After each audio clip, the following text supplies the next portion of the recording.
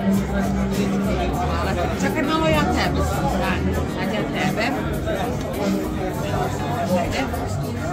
Ravni glavu. Bravo. Sad ti mene.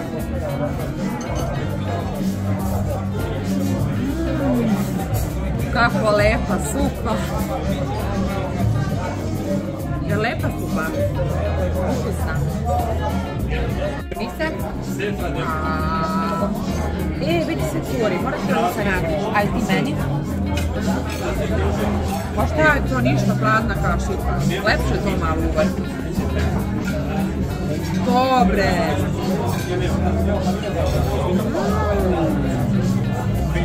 Aj sad ti, ajde ti kao ja otvori. Bravo. Čekaj. Ajde.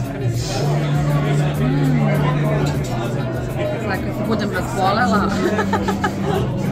Neću. Ona je sad zaštićena.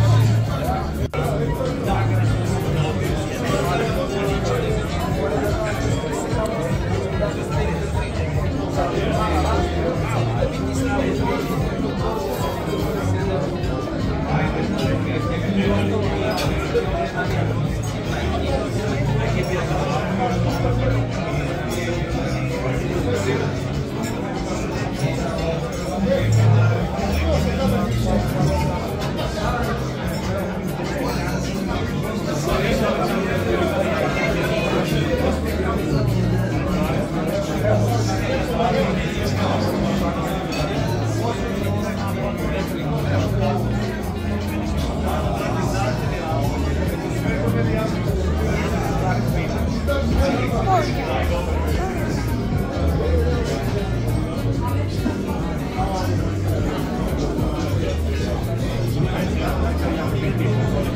Hvala ti.